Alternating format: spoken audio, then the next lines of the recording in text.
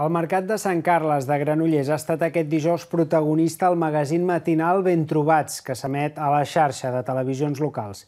Els periodistes David de Ríos, del Ben Trobats, i Pere Puig, de Vallès Oriental Televisió, han conegut el mercat juntament amb el president de l'Associació de Venedors, Lluís Podall, i els paradistes que hi ha en aquest emblemàtic mercat. També des del mercat s'ha fet la secció de fer una recepta en 5 minuts i l'encarregada de cuinar-la ha estat l'Estefani Calderón, xef de l'artesanal de Granollers.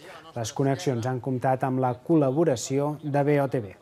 Bueno, però això és perquè nosaltres les fem típiques, típiques bretones. No sé, em parla poquet, però vinga, va. Maria Carme, Maria. Punxes tu i punxo aquest d'aquí?